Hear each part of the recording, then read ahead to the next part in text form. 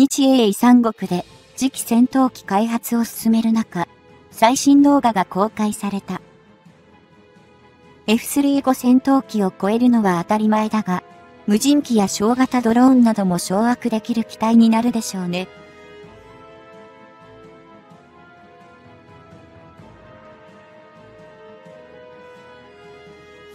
2022年12月に、日本とイギリスとイタリアとの3カ国で共同開発として行われる次期戦闘機の計画名は、グローバル、コンバット、エアー、プログラム、通称 GACP と明かされ、現在、本格的なフェーズへ入っている。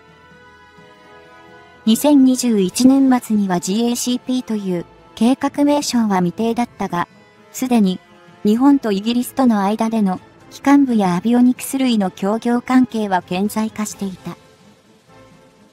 その対象が戦闘機というケースは太平洋戦争後の日本においてアメリカという唯一の軍事同盟国との協調を最大の前提としていたため寿命の利とでも形容すべき分野であった。それがゆえに今後開発される次期戦闘機が代替する F2 戦闘機に関してもロッキード・マーチン社が擁する F1 6ファイティング・ファルコンを基軸にして開発を行った機体であり、同社の技術供与は揺るがないという見解が多数を占めていた。また、一部では F2 戦闘機で懸念される点として、ロッキード・マーチン社との共同開発が行われた原因と予想された機関部の準国産化に関して、IHI 社製の試作機 XF9 が2018年に防衛装備庁への納入を果たしたことから、念願の準国産化を支持する声も上がっていた。しかし、単なる宇宙に打ち上げるロケットではなく近い将来の戦争で使うような新型戦闘機を、今や自国の技術のみで開発を遂行できるだけの基盤を確保することや、軽く見積もっても、超単位の開発費が想定されるため、このご時世で日本が次期戦闘機開発を準国産化で成し遂げることに疑念を抱かれても仕方がない。そのため、現行の F2 戦闘機でも共同開発を行い、また、最新鋭の第5世代戦闘機 F35 ライトニングにも、日本は総数147機の調達を決定している状況から見ても、その売買権利を有するロッキード・マーチン社の主体的な参画は揺るがないだろうと見ていた。しかし、そのような推察を裏切るかのように、日本は F2 戦闘機の代替機を GACP にて調達する方向に切り替え、ロッキード・マーチン社が、それらに随伴する無人航空機等の分野への関与に止まるという流れになった。ここ近年の航空自衛隊で採用された戦闘機の変遷を見返しても、F4 ファントム、F15 イーグルがアメリカ製の機体のライセンス生産、F2 戦闘機が日米共同開発、F35 ライトニング2に至っては、完成品の購入、及び国内での最終組み立てという完全アメリカ依存の傾向は揺るがなかった。特に、第5世代戦闘機を西側諸国の市場で独占しているロッキード・マーチン社は、アメリカ空軍専用の F2 にラプター、NATO 同盟国やそれに近しい国々に F35 ライトニング2を供給して、その地位を盤石のものとしているようにも見えていた。アメリカ空軍の次世代戦闘機開発計画とされるニュージェネレーションエアードミナンス通称 NGAD も本格始動することがすでに打ち出されているが、ここでの開発主体も予想通り、ロッキード・マーチン社が優位性を発揮するだろう。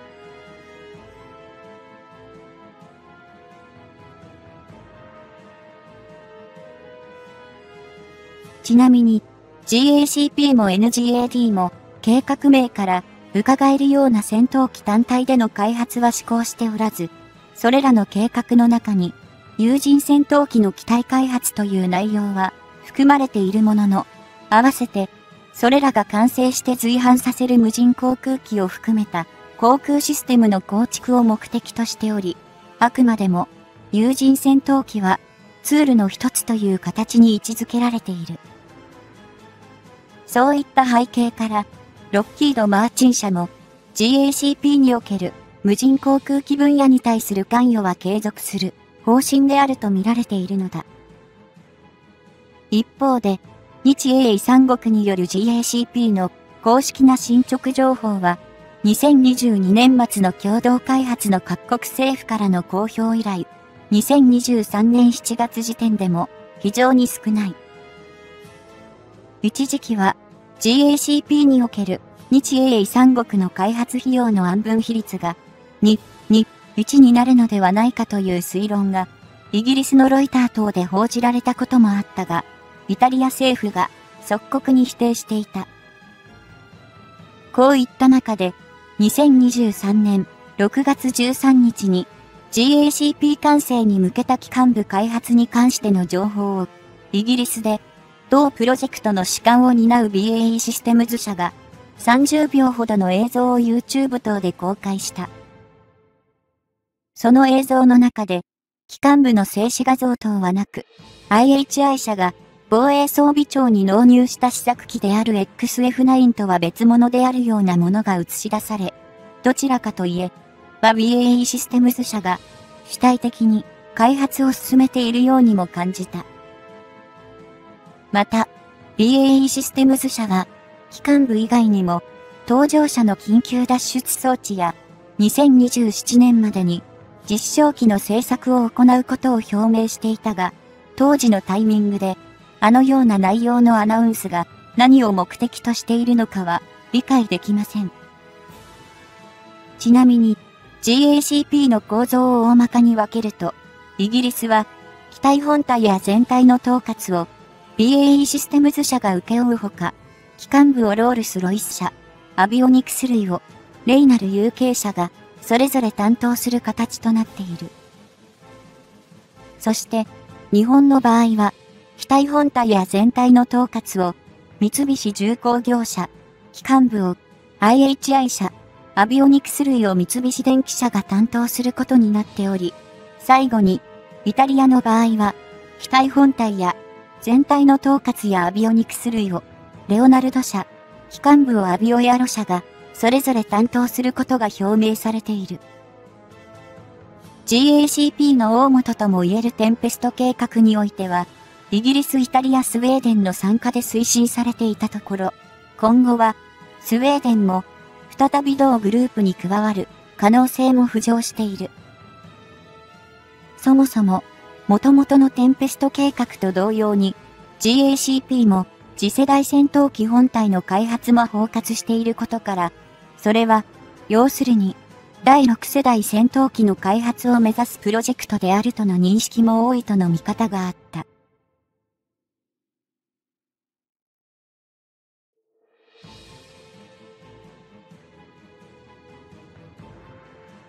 しかし、日本の次世代戦闘機開発に対する技術供与のボス的存在でもあるロッキード・マーチン社がこんなにもあっさりと身を引いた理由の一つに、それらのプロダクトがアメリカ側の施行する第6世代戦闘機の資質を備えていないと判断されたためとも指摘されている。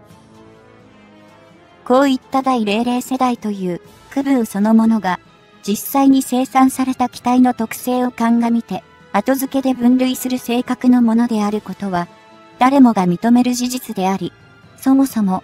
第6世代戦闘機の要件は、さらに高度な機体自体のステルス性、随伴区無人航空機の完成、高度なネットワーク化などが挙げられている。ただし、これらの要件自体も、第5世代戦闘機の F35 ライトニング2でさえも、今後のアップデート次第で十分にカバーすることが可能な能力とも思えるため、あながち、アメリカ側が GACP を次世代のものと見ささないという見解も的外れではないのかもしれませんね。それにしても、第4世代戦闘機の先人として、アメリカが開発した F15 イーグルや F16 ファイティングファルコンの最新型が、限定的なステルス性能や飛躍的に強化されたアビオニクス類の装備で、体4.5世代という評価を受けている事実は、示唆的に思えて仕方がない。これすなわち、GACP の中でも F35 ライトニング2の生産に大きな関与を果たした BAE システムズ社が主体的な役割を担うことで、少なくとも、それを5.5世代相当の機体に仕上げる可能性は、間違いなく高いと、誰もが思うことだろう。それが本当に実現されたならば、今の F35 ライトニング2では困難とされていた、日本やイギリス、イタリアが、自由に、自国の必要性と照らし合わせて、回収を行う自由度が増すため、実際に、最終形態で次世代戦闘機となる機体に関しては、再度、アメリカからの調達も今後検討する余地を残せばいいのではないでしょうか。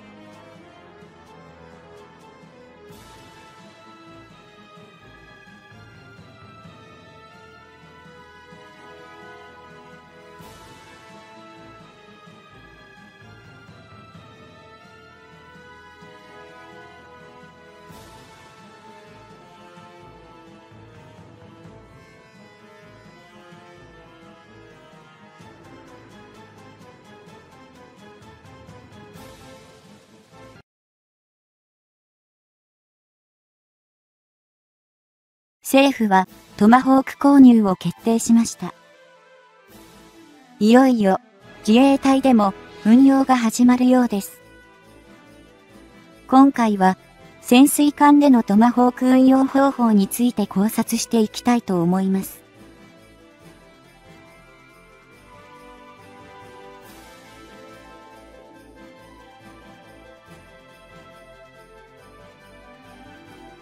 2020年令和2年12月18日、政府閣議で、スタンドオフ防衛能力の強化が決定されました。人認識地対艦誘導弾をさらに長射程化し、多様なプラットフォーム、自発型、間発型、空発型からの発射能力を加えた人認識地対艦誘導弾能力向上型の開発を決定したのです。この人認識地対艦誘導弾能力向上型は、現在陸自が運用している地対艦誘導ミサイルである、人認識地対艦誘導弾の射程を約 200km から 900km に約4.5倍も延伸。最終的には 1500km まで延伸したものとみられています。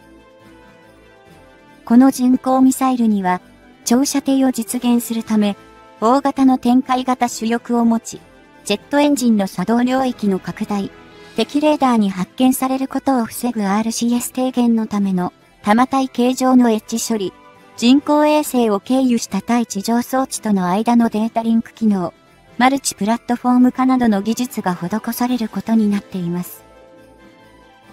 日本政府は2024年度中には地上発射型のミサイル配備を開始するようです。2022年、令和4年12月16日、日本政府は国家安全保障戦略、国家防衛戦略、防衛力整備計画という、いわゆる戦略3文書を採択しました。防衛費の大幅増額を含め、戦後の日本外交、安全保障、防衛政策を大きく転換することにしたのです。また、同じく、12月16日に防衛力整備計画も閣議決定されました。ここでは、人認識地対艦誘導弾能力向上型、地上発射型、艦艇発射型、航空機発射型の開発、施策を実施、継続することや、発射プラットフォームをさらに多様化すること、スタンドオフミサイルの運用能力を向上させるため、潜水艦に搭載可能な垂直ミサイル発射システム、VLS、輸送機搭載システム等を開発、整備することを明記したのです。また、陸自、海地それぞれに目標が設定されました。陸上自衛隊は、人に意識地対艦誘導弾能力向上型を装備した地対艦ミサイル部隊を保持すること。海上自衛隊は、護衛艦に人認識地対艦誘導弾能力向上型などのスタンドオフミサイルを搭載。また、水中優勢獲得のための能力強化策として、潜水艦に垂直ミサイル発射システム VLS などを搭載した上で、スタンドオフミサイルを搭載できる垂直発射型ミサイル搭載潜水艦の取得を目指し、開発することも明記されているのです。防衛装備庁ではこれらに対応するため、スタンドオフミサイルの水中発射技術、海面離脱、及び飛翔技術などの技術的課題を解決するため、2026年度、令和8年度から2027年度、令和9年度までに各種試験を実施し、ミサイルの性能を確認する予定としています。最終的には、潜水艦発射型誘導弾装備を2028年、令和10年から建造される潜水艦に搭載する予定だったようです。事実、防衛装備庁は2023年3月13日、潜水艦用垂直誘導弾発射システムに関する技術検討業務を広告し、技術検討を担当する企業を募りました。つまり入札ですね。この技術検討とは、名前の通り、潜水艦の船体から垂直に巡航ミサイルを発射することを視野に入れた検討の一環とみられ、広告文には、国産潜水艦に適合する VLS、垂直発射システムの設計、製造にかかる技術課題、課題解明のプロセス等の検討と表記されています。近い将来、海上自衛隊においては、VLS、垂直発射システムを搭載した潜水艦が実現する可能性を示唆しているようです。改めて説明します。潜水艦から発射される巡航ミサイルには、魚雷発射艦から発射するタイプと、VLS から発射するタイプの2種類があります。魚雷発射艦から発射する巡航ミサイルの場合、艦内の弾庫スペースが限られている潜水艦では、搭載可能なミサイル数や魚雷数が小なるというデメリットがあるのです。その点、VLS から発射可能なミサイルを装備した潜水艦では、巡航ミサイルを数多く搭載できますし、短時間での連続発射が可能になって、飽和攻撃時に有利になるといったメリットがあるのです。その一方、VLS を数多く搭載するためには、大きな船体が必要になりますし、加えて、射撃管制システムが複雑になるというデメリットもあるのです。VLS を搭載している潜水艦は、アメリカ海軍の原子力潜水艦など、世界の戦略ミサイル原子力潜水艦に見られます。韓国の通常動力型潜水艦鳥山安正宏級にも搭載されています。しかし、海上自衛隊においては、2023年現在、保有はしていません。潜水艦用垂直誘導弾発射システムに関する技術検討業務の中で、どのような形でミサイルの水中発射を研究していくかが話題になっているようです。2022年10月29日の読売新聞の記事には、政府は長射程ミサイルが発射可能な潜水艦の保有を目指し、技術的課題を検証する実験潜水艦を新造する方向で調整に入ったとあります。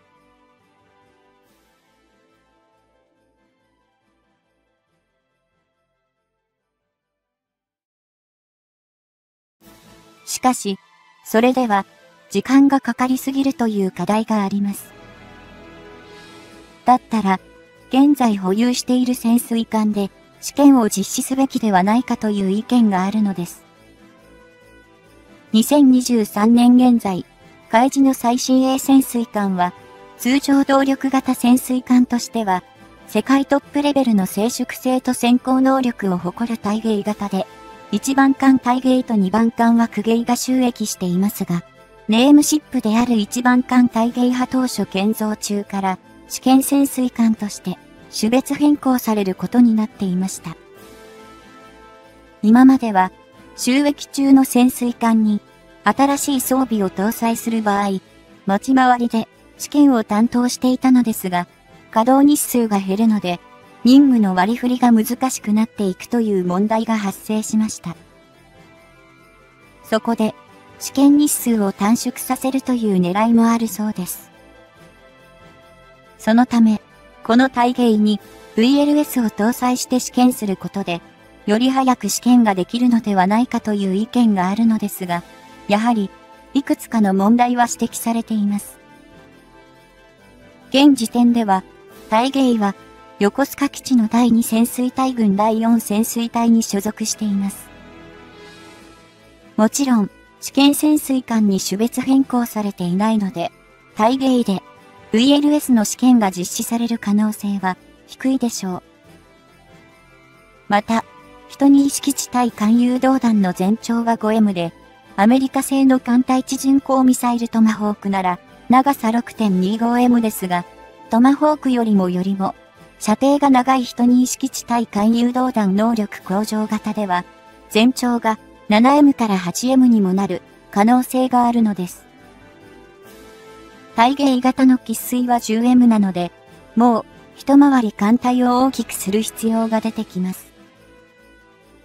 また、VLS を搭載するには、艦内区画を大きく変更する必要がありますが、先行時には、強度が命となる潜水艦で、途中から VLS を搭載するのは危険なので、潜水艦関係の専門家からは、最初から搭載を前提として新たに設計すべきとされているようです。また、VLS では内径が一定なので、搭載できるミサイルが制限されることになってしまいます。昨今のミサイルの発展を考慮すると、あらゆる種類のミサイルに対応可能な発射システムにしておくことが、後々有利になることは想像がつきますよね。そこで、アメリカ海軍のバージニア級攻撃型原子力潜水艦のブロック後に、VLS に代わって、並走モジュール VPM、バージニア、ペイロード、モジュールを搭載するべきという声が上がってきました。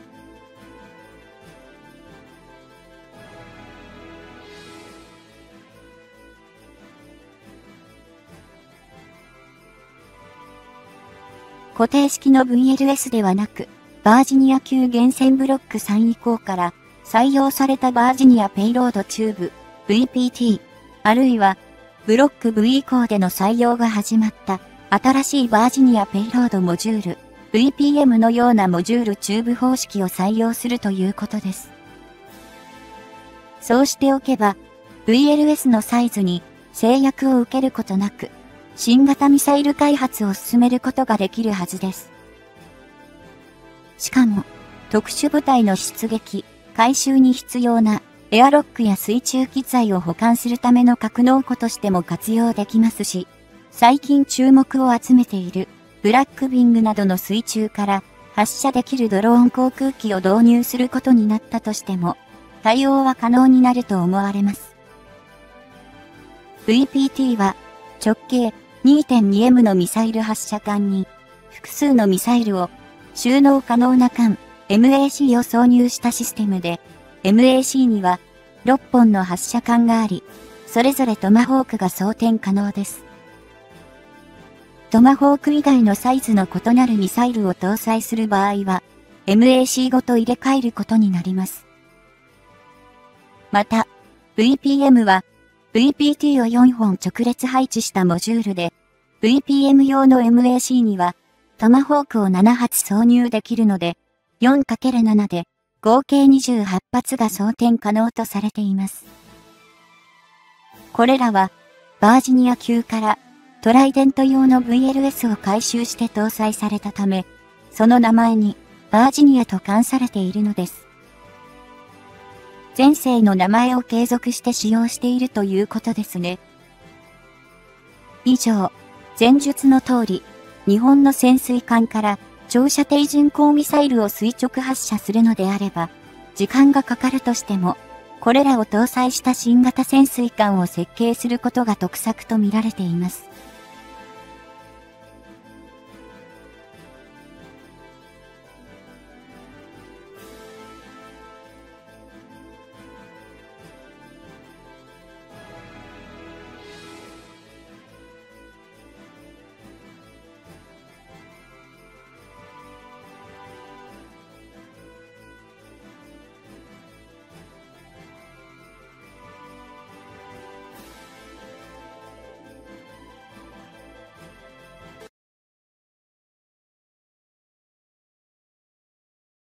日本の通常動力型潜水艦は世界最強とも呼ばれているそうです。では、どこがそんなにすごいのでしょう？見ていきたいと思います。日本初、画期的な駆動システムが生まれ、世界が仰天したことなんだよね。最終形態が一番厄介なのは、どんな世界でも同じです。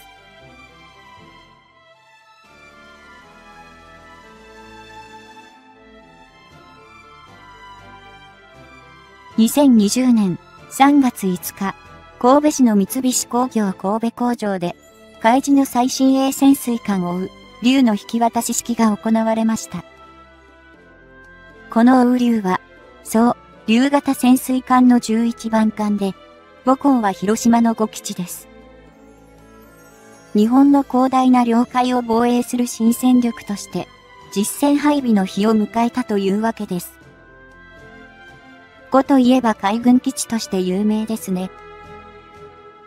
大ヒットしたアニメ、この世界の片隅に、では、あのヤマトの勇士が呉港に浮かぶシーンもありました。余談ですが、太平洋戦争末期、アメリカは原爆を呉に落としたかったそうです。しかし、天候の問題で広島に落としたのだとか。軍港である5を狙ったというのは当然とも思えますね。さて、その雨流のデータを紹介します。基準排水量2950トン、水中排水量4200トン、全長 84M、幅 9.1M とされ、通常動力型潜水艦としては、世界でも有数の大型と言われるほどの仕様になっているのです。そう、夕型潜水艦は、10番艦までは、ディーゼル、スターリングの両エンジンと、鉛製の蓄電池を併用した推進方式を採用していました。しかし、11番艦を追う、流波ディーゼル機関とリチウムイオン蓄電池方式を採用したので、かなり大きく変更したということになります。ここで気になるのがオウリュウの速力ですね。公表された値は、水上で13ノット、水中で20ノットなので、エンジン期間を大きく変えたのにもかかわらず、先輩である10番艦までの艦と、大した違いがないことに気がついた方もいらっしゃるでしょう。ここで再確認したいと思います。そもそも現在の潜水艦という兵器の位置づけが最重要軍事機密に該当することは言うまでもありません。となると、その重要な兵器の性能を簡単に推測されてしまうような正確な数値を公表するわけありませんよね。わざと従来艦と違いのない値を公表していると考えるべきではないでしょうか。また、最新鋭艦欧流だけでなく、従来の、そう、流型についても、連続先行可能時間や最大先行可能深度等、潜水艦の性能に関する重要な情報は、極秘事項として一切開示されていません。まさに、厳重機密扱いということがお分かりでしょう。潜水艦のデータを隠しているのは日本だけではありません。世界的にも同じ傾向です。なので、オウリュウの公表値水中速力は20ノットですが、これは実際の可能速度とは全然違うのではないかと推測する人も大勢いるそうです。まあ、当然といえば当然ですね。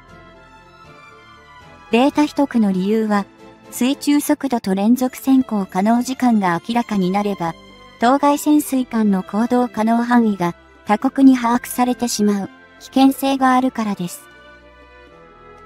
人の目に触れず、隠密行動を行う潜水艦にとって、活動範囲は絶対に敵に知られてはならない情報です。特に、通常動力型潜水艦においては、絶対に秘密にしておくべき情報と言えるでしょう。実は、原子力推進型潜水艦ですと、機関部分だけを考えれば、理論上、ほぼ無限に連続航行できるということがはっきりしています。また、原子力を利用した機関は強力ですから、水中速力も30ノットは出るだろうというのが一般的な知識ですね。ですから、源泉は通常型とは逆に隠す必要がないのです。というか、隠してもバレバレと言った方がいいのかもしれませんね。現実的には源泉であっても、それを動かす人間、潜水艦乗組員は艦内で生活しているわけですから、彼らのための食料など物資の補給は必要です。狭い艦内に缶詰状態に置かれることに耐えていく人間のメンタリティの課題など様々あるでしょう。つまり、源泉自体はストップしなくても、中にいる人間にとっては、源泉での長期にわたる生活は困難が伴うものではないでしょうか。話を大流に戻しますね。鉛蓄電池と比べると、出力が大きいリチウムイオン電池を採用していますから、10番艦までの従来艦と同じ水中速力とは思えません。瞬間的なパワーは、原子力推進型に引けを取らないのではないかと思われます。原子力推進型潜水艦には確かに長所が多いようです。それを考えると、アメリカやイギリスなどのように保有している潜水艦がすべて源泉である国々が軍事力で優位に立てることは明らかです。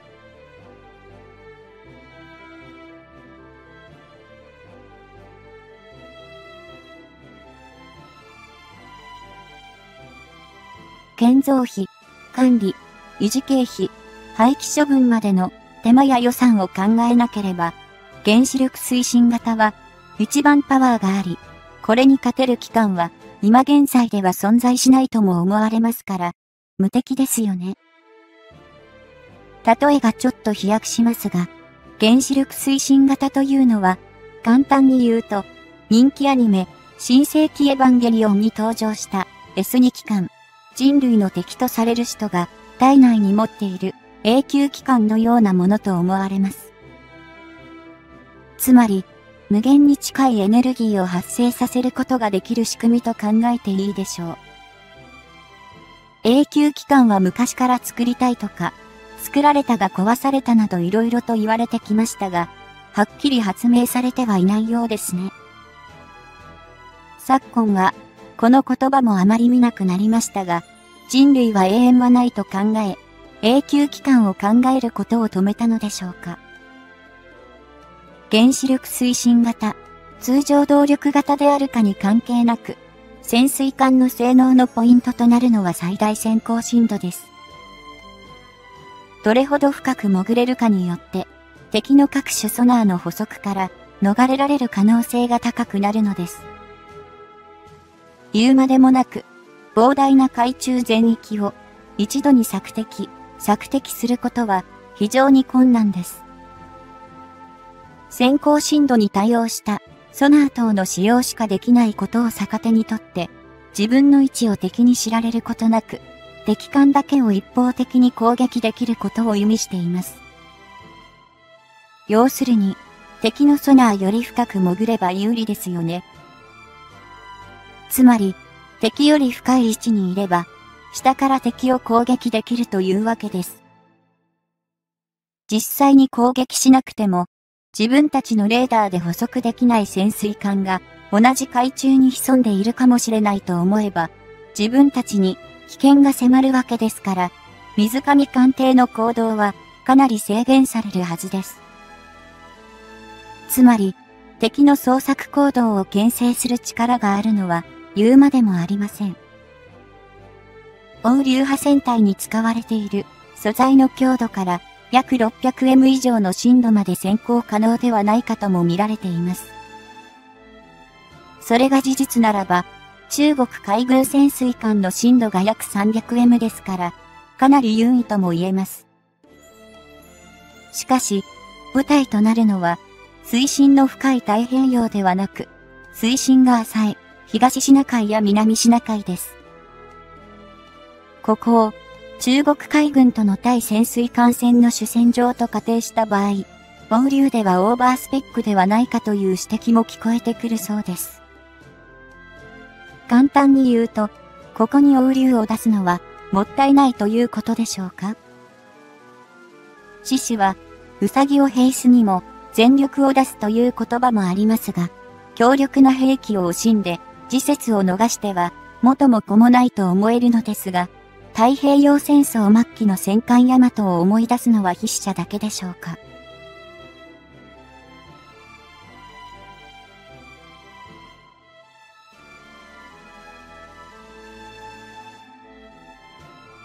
潜水艦のキーポイントである先行深度以外にも、日本の潜水艦が高いレベルにあると考えられている理由がもう一つあります。それが静粛性です。視界が悪い深い海中では、潜水艦の動きは音で判断するしかありません。となると、なるべくエンジン音や生活音などが少ない方が当然有利ですよね。欧流は原子力推進型より構造的に優れている部分を極限まで突き詰めていった結果、驚くほどの秘匿性を持った潜水艦になったそうです。オウリュウの静粛性については、中国潜水艦浮上事件が証拠になるかもしれません。2018年1月、日本の領土である尖閣諸島沖に、中国海軍潜水艦が突然浮上するということがありました。海中に隠れて行動するはずの潜水艦がなぜ浮上したのか、大騒ぎになりましたが、真相は空示、海地が必要に追跡したので、放流から逃げられないと判断して、仕方なく浮上したと推測されています。要するに、追跡されるまで気がつかなかったということですから、放流の静粛性の凄さの証明ということでしょう。中国海軍の源泉には、数多くの騒音トラブルが発生しているそうですから、秘匿性に関して、放流派世界最高水準の潜水艦と言っても間違いはないでしょう。